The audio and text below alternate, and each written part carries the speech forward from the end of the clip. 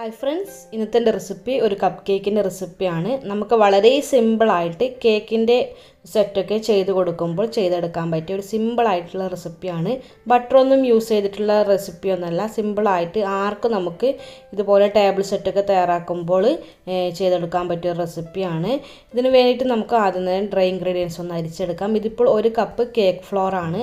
അതായത് ഒരു കപ്പ് മൈദ എടുത്തിട്ട് അതിൽ നിന്ന് ഒരു ടീസ്പൂൺ മൈദ മാറ്റിയതിന് ശേഷം അതിന് പകരമായിട്ട് ഒരു ടീസ്പൂണോളം കോൺഫ്ലവർ ചേർത്തെടുത്തതാണ്. അത് നമുക്കൊരു അരിപ്പയിലോട്ട് ചേർത്ത് കൊടുക്കാം. പിന്നെ ഒരു ഒരു ടീസ്പൂണോളം ബേക്കിംഗ് പൗഡർ ചേർത്ത് കൊടുക്കാം. പിന്നെ ഒരു അര ടീസ്പൂൺ ബേക്കിംഗ് സോഡ ചേർത്ത് കൊടുക്കാം. പിന്നെ ഒരു കാൽ ടീസ്പൂണിന്റെ അടുത്ത് ഉപ്പ് കൂടി ചേർത്തതിന് ശേഷം നമുക്ക് നല്ലവണ്ണം അരിച്ചെടുക്കാം. എല്ലാം കൂടി ഒന്ന് നല്ലവണ്ണം കമ്പൈൻ ചെയ്ത് കിട്ടാൻ വേണ്ടിയിട്ടാണ് ഇങ്ങനെ ചെയ്യുന്നത്. നല്ല രീതിയിൽ തന്നെ ഒന്ന് അരിച്ചു കൊടുക്കുക ഒന്നോ രണ്ടോ തവണ അരിച്ചു കൊടുത്താൽ ഏറ്റവും നല്ലത്. അല്ലെങ്കിൽ ഒരു തവണ അരിച്ചതിന് ശേഷം ഇതുപോലെ ഒന്ന് മിക്സ് ചെയ്ത് കൊടുത്താലും മതി. ഇനി നമുക്കിതൊരു സൈഡിലോട്ട് മാറ്റി വെക്കാം. നമുക്ക് മുട്ട ബീറ്റ് ചെയ്യാണ് ചെയ്യേണ്ടത്. ഇതിന് വേണ്ടിയിട്ട് മൂന്ന് മുട്ടയാണ് എടുത്തിരിക്കുന്നത്.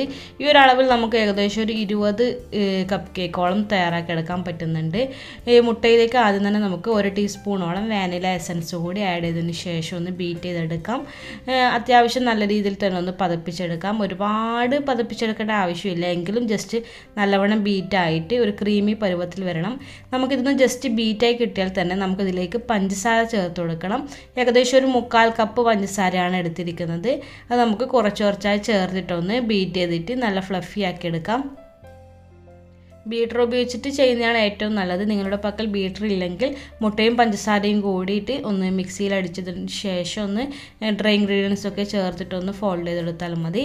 ഇതിപ്പോൾ അത്യാവശ്യം നല്ല രീതിയിൽ തന്നെ ഒന്ന് ബീറ്റായി കിട്ടിയിട്ടുണ്ട്. ഇതിലേക്ക് നമുക്കൊരു കാൽ കപ്പ് വെജിറ്റബിൾ ഓയിൽ ആഡ് ചെയ്ത് കൊടുക്കാം.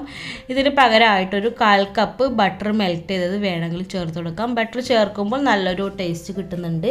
ഞാനിപ്പോൾ വെജിറ്റബിൾ ഓയിൽ തന്നെയാണ് ആഡ് ചെയ്തിരിക്കുന്നത്. ഇത് ചേർത്ത് ജസ്റ്റ് ഒന്ന് മിക്സ് ചെയ്തതിന് ശേഷം നമുക്ക് ബീറ്റർ ഓഫ് ചെയ്യാം. ഇതിലേക്ക് നമുക്ക് നേരത്തെ അരിച്ച് വെച്ചിരിക്കുന്ന ഡ്രൈ ഇൻഗ്രീഡിയൻസ് കുറച്ച് കുറച്ചായി ചേർത്തിട്ടൊന്ന് ഫോൾഡ് ചെയ്തെടുക്കണം. അതിന്റെ ഇടവിട്ട് നമുക്ക് കുറച്ച് പാൽ കൂടി ചേർത്ത് കൊടുക്കണം. ടോട്ടൽ ഒരു അരക്കപ്പ് പാൽ എടുത്തിട്ടുണ്ട്. അതിൽ നിന്ന് കുറച്ച് കുറച്ചായിട്ട് ചേർത്തിട്ടൊന്ന് ഇതുപോലെ ഒന്ന് ഫോൾഡ് ചെയ്തെടുക്കാം. ബീറ്റർ ഉപയോഗിച്ചിട്ട് ലോ സ്പീഡിൽ മിക്സ് ചെയ്തെടുത്താലും മതി. നിങ്ങൾക്ക് ഏതാണ് ഏറ്റവും കംഫർട്ടായിട്ട് തോന്നുന്നത് അതുപോലെ ചെയ്യാം. ഓവർ മിക്സ് ആകാൻ പാടില്ല എന്നേ ഉള്ളൂ. ജസ്റ്റ് ഇതുപോലെ ഒന്ന് ഒരേ ഡയറക്ഷനിൽ ഒന്ന് ഫോൾഡ് ചെയ്ത് കൊടുത്താൽ മതി. ഇപ്പോൾ നമ്മുടെ കപ്പ് കേക്കിനുള്ള ബാറ്റർ തയ്യാറായിട്ടുണ്ട്. നമുക്ക് ഇത് കപ്പ് കേക്കിന്റെ മോൾഡിലോട്ട് ഒഴിച്ചു കൊടുക്കാം. ഇതുപോലുള്ള കപ്പ് കേക്കിന്റെ പേപ്പർ കപ്പ് വാങ്ങിയിട്ടുണ്ട് ഗോൾഡൻ കളറിൽ അത് നമുക്ക് ഇതിലേക്ക് ബാറ്റർ ഒരു മുക്കാൽ പോർഷനോട് ഒഴിച്ചു കൊടുക്കാം. കംപ്ലീറ്റ് ആയിട്ട് ഒഴിക്കണ്ട. മുക്കാൽ ഭാഗത്തോളം ഒഴിച്ചു കൊടുത്താൽ ഒഴിച്ചു കൊടുത്താൽ മതി. അതിനുശേഷം ഇതുപോലെ ഒന്ന് ടാപ്പ് ചെയ്തിട്ട് നമുക്ക് പ്രീ ഹീറ്റ് ചെയ്ത് വെച്ചിരിക്കുന്ന ഓവനിലേക്ക് വെച്ച് കൊടുക്കാം. നൂറ്റമ്പത് ഡിഗ്രിയിൽ പ്രീ ഹീറ്റ് ചെയ്ത ഓവനിൽ ഏകദേശം ഒരു പതിനഞ്ച് മിനിറ്റോളം പതിനഞ്ച് ഇരുപത് മിനിറ്റോളം ബേക്ക് ചെയ്താൽ തന്നെ നമുക്ക് പെർഫെക്റ്റ് ആയിട്ട് ഇതുപോലെ നല്ല ഫ്ലഫി ആയിട്ടുള്ള കപ്പ് കേക്ക് കിട്ടിയിട്ടുണ്ട്. നമുക്കിത് ചൂടാറിയതിന് ശേഷം ഒന്ന് ഫ്രോസ്റ്റ് ചെയ്തെടുക്കുന്നുണ്ട്. ഫ്രോസ്റ്റ് ചെയ്യണം നിർബന്ധമൊന്നുമില്ല. ഞാനിപ്പോൾ ടേബിൾ സെറ്റിന് വേണ്ടിയിട്ട് ഇതുപോലെ വിപ്പിംഗ് ക്രീം ഒരു പൈപ്പിംഗ് ബാഗിലേക്ക് ആക്കിയിട്ട് റോസറ്റ് നോസിൽ വെച്ചിട്ട് ഇതുപോലെ ഒന്ന് ഡെക്കറേറ്റ് ചെയ്ത് കൊടുക്കുകയാണ് ചെയ്യുന്നത്. സിമ്പിളായിട്ടുള്ള റെസിപ്പി നിങ്ങൾക്ക് എല്ലാവർക്കും ഇഷ്ടമായെന്ന് വിചാരിക്കുന്നു. വീണ്ടും നല്ലൊരു വീഡിയോയുമായി കാണാം. അതുവരെ എല്ലാവർക്കും ബൈ ടേക്ക്